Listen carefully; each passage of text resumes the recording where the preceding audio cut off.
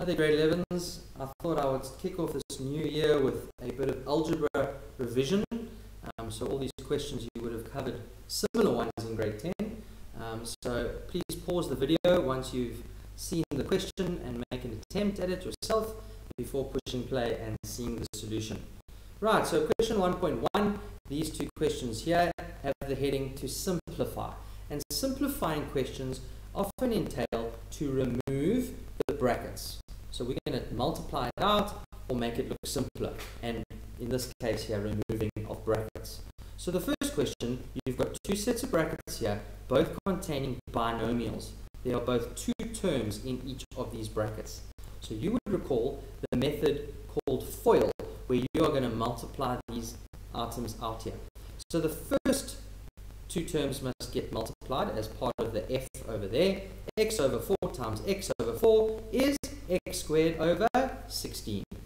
The outers would be x over 4 times 1, which remains x over 4. The inners is negative 1 times x over 4, which is negative x over 4. And the last is negative 1 times positive 1, which is negative 1. At this stage, we have to look for the like terms, and these two terms in the middle here are like terms, x over 4, negative x over 4. Those two terms would cancel, and our final answer would be x squared over 16 minus 1. Okay, we can't join those two terms together because they are not like terms. In 1.1.2, it's a bit of a longer question, but here we're just going to be multiplying out more brackets.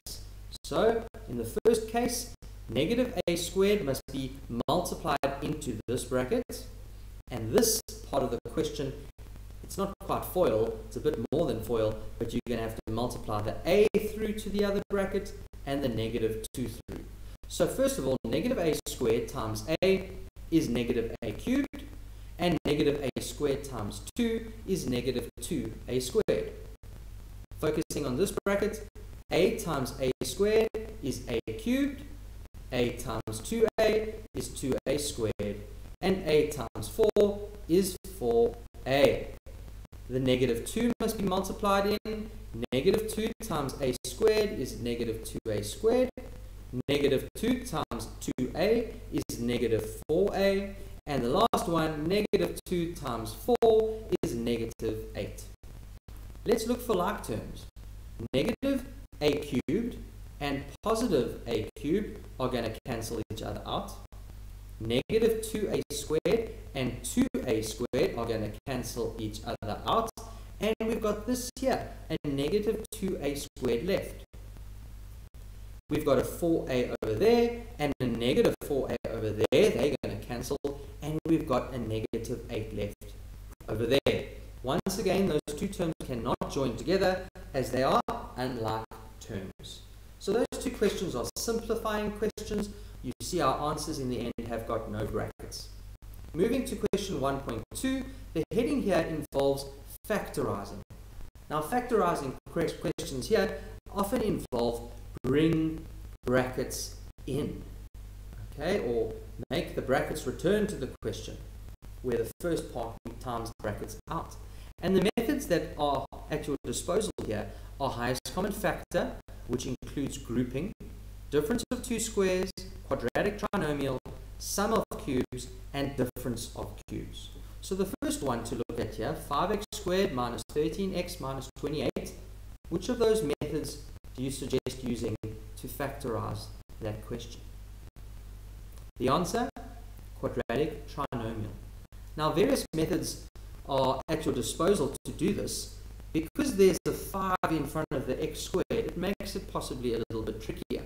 So watch one of the methods you could use. It's called the cross method. So how can you get to 5x squared? One of the options, 5x times x. In fact, the only option in this case. So I'll put them on the side of my cross. The next decision is how to get to 28. Now the options could be, let's say 1 times 28, or 2 times 14, or 4 times 7. Right? Bearing in mind that the combination of these factors, as well as the 5x and the x, need to work together to give me negative 13x. So the one that I'm going to choose is 4 and 7.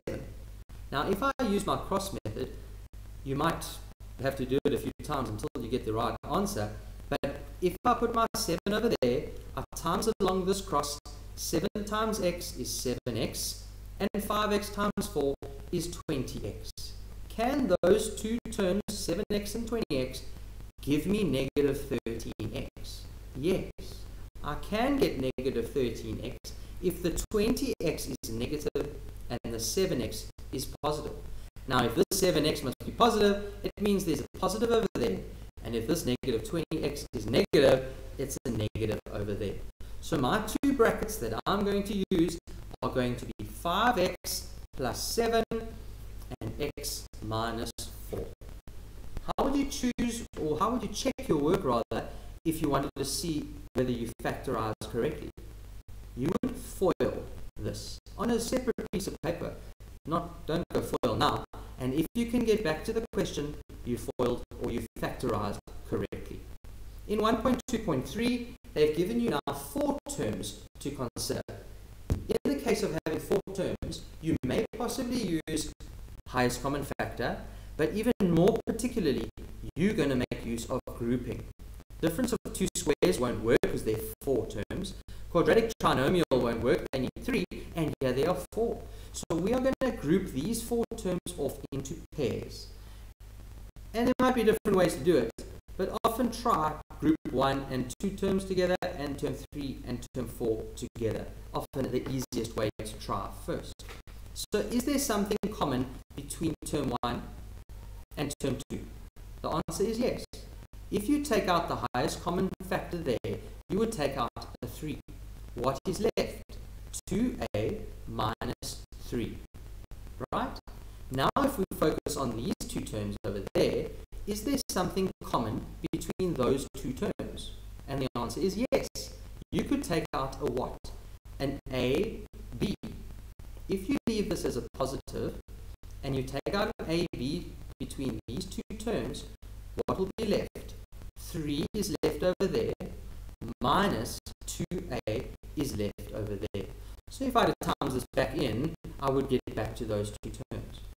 However, looking at my answer as it stands, we need to do a bit of work. Because ideally, I want this bracket to be the same as that.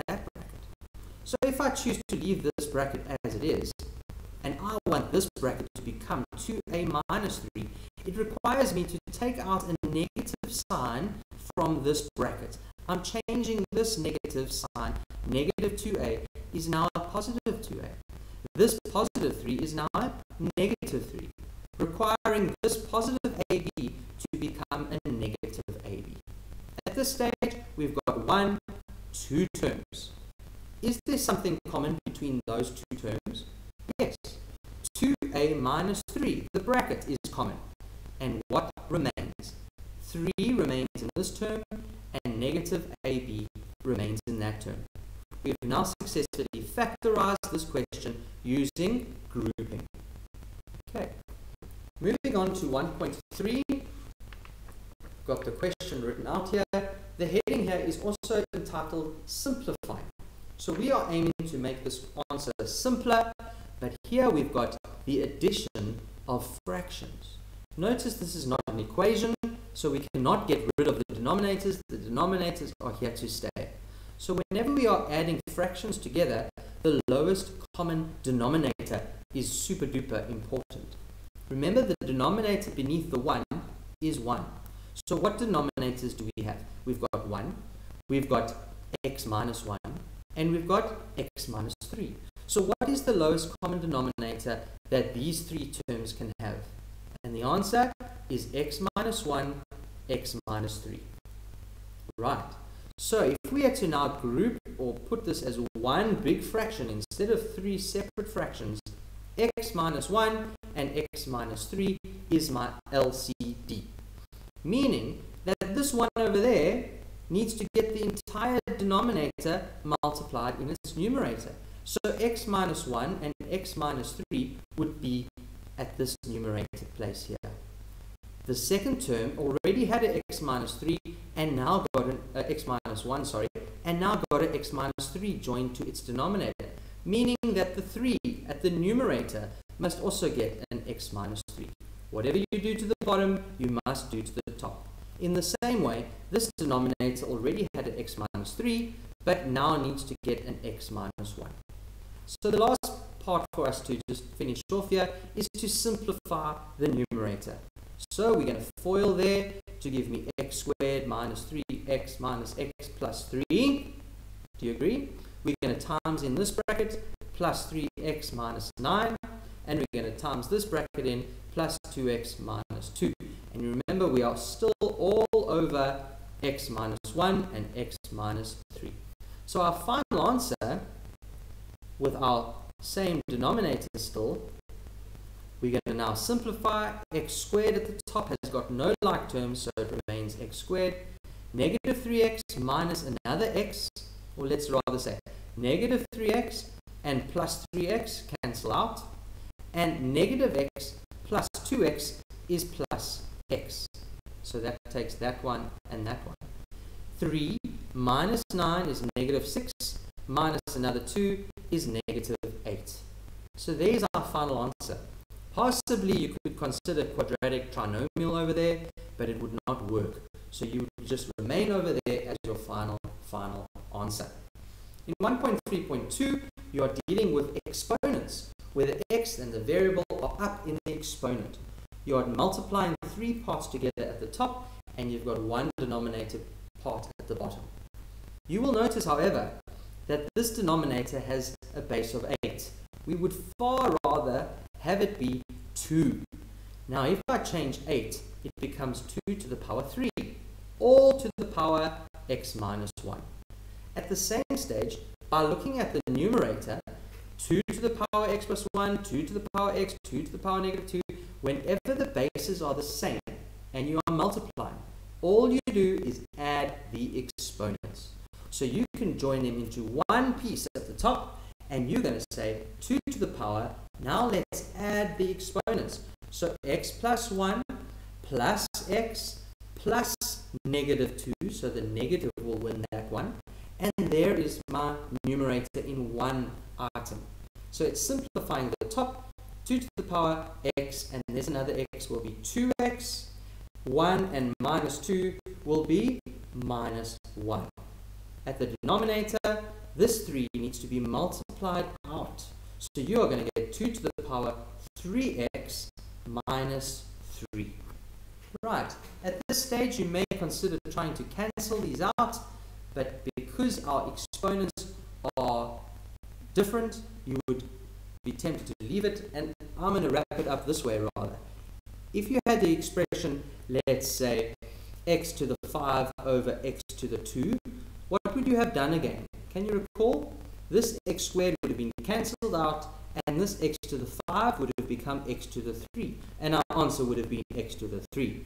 And the way that we do that in another angle is to say x to the power 5 minus 2, which is the same x to the power 3.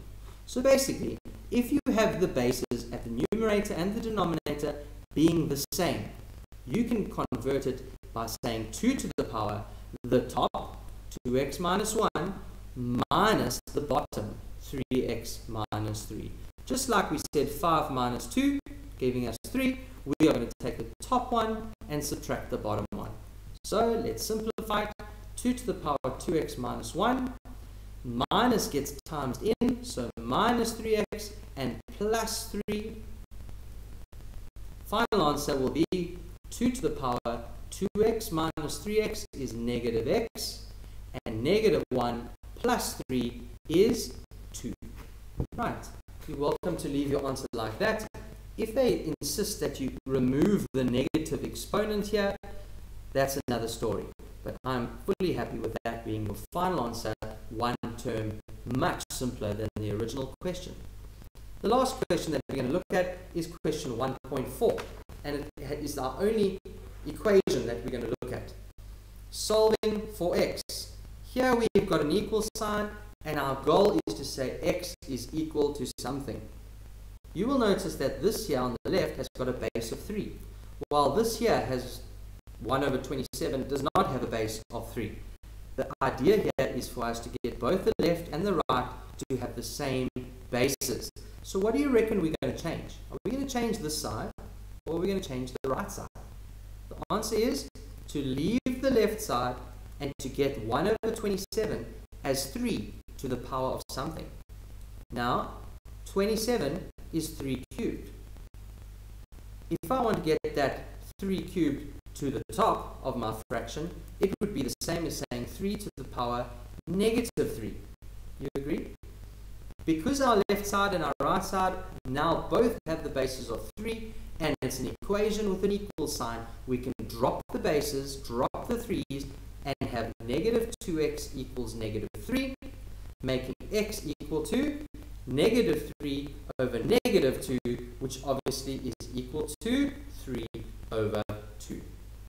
Right, I trust that this little recap of grade 10 algebra is to your benefit. I hope you've dusted off some cobwebs and are ready for your grade 11 year. Right, stay tuned for another video.